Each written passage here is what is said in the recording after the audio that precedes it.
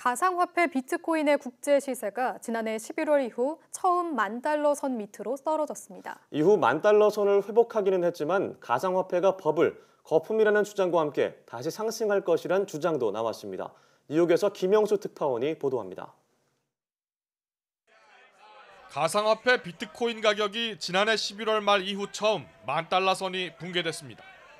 미국의 경제 방송인 CNBC는 국제 시세를 보여주는 코인데스크에 비트코인 가격이 오전 한때 19% 급락한 9,199달러까지 떨어졌다고 보도했습니다.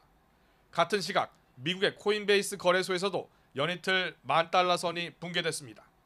비트코인 가격이 만 달러 밑으로 떨어진 것은 지난해 11월 30일 이후 처음이고 지난달 최고가 19,300달러의 52% 수준입니다. CNBC는 비트코인 가치가 한때 300억 달러, 우리 돈 32조 원이 사라졌다고 덧붙였습니다.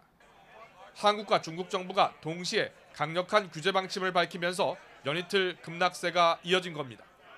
이후 비트코인 시세는 반등해 만 달러를 회복했지만 가상화폐 버블론이 다시 제기됐습니다.